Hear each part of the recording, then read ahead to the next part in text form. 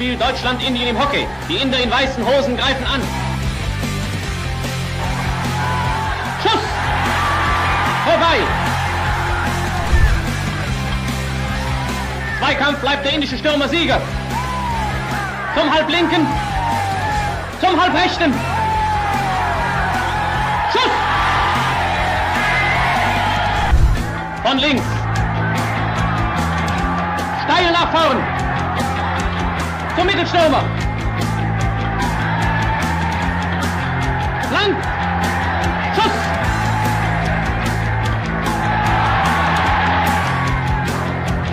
Die Inder greifen an. Zum Halblinken. Zum Linksaußen. Schuss.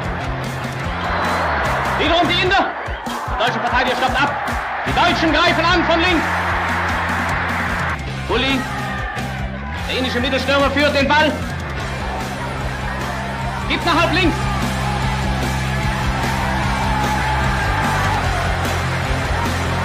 Schuss.